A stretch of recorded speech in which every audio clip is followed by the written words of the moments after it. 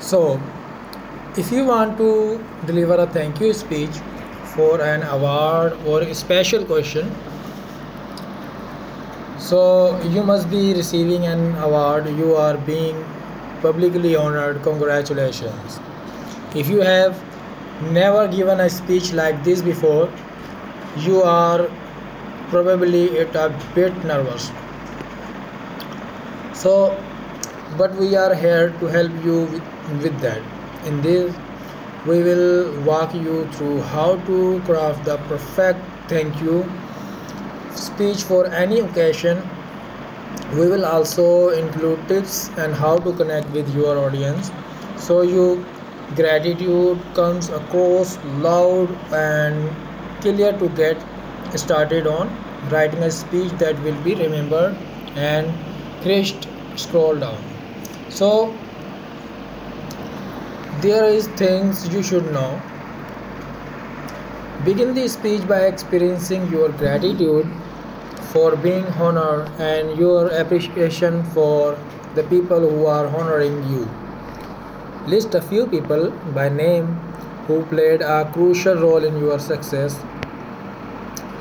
If you have a brief story or highlight from your experience share it with the audience.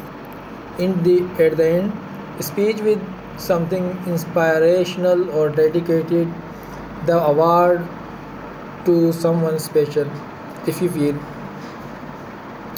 So uh, write the speech on a note card and bring it with you if you need to. Be sure sure to practice your speech ahead so the speech on the note card will help you to deliver your speech. So composing your speech is the start from the express your gratitude.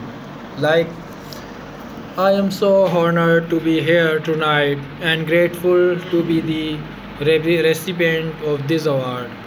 Like start with an expression of the gratitude of right off the bat you can start by saying thank you for the award or honor you are receiving and acknowledge of where you are giving the speech in the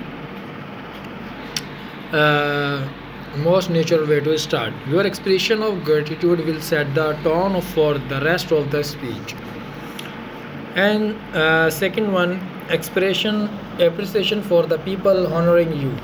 Like you can say i would like to thank you for, for my brilliant and truly outstanding director christopher fox who leadership and vision is steering project from day one and to the amazing staff and the cast. It's always pleasure coming to work every day with such lovely and engaging people like that you can say uh, your experience and the experience.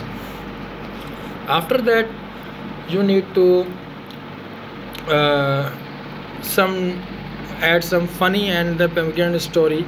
Like i know i owe you all some money so expect i a payout soon. Next time i won't bet against myself. Like that you can add some uh, funny things in your speech after this you, you need to give credit to the people who supported you in your whole journey. Like mom and your dad like you can say mom and dad thank you for always believing in me. And second for driving me to all those uh, races when i was a kid to jack my darling husband.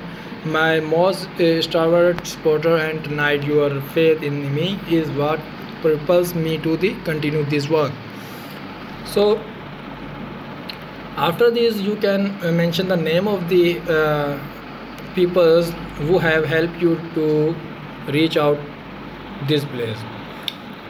After everything at the end on the note you end this in a high note like our work is so far from over but what we have accomplished together has made a difference in the hundreds of people's lives that roll up our sleeves and continues this journey with more dedication than ever.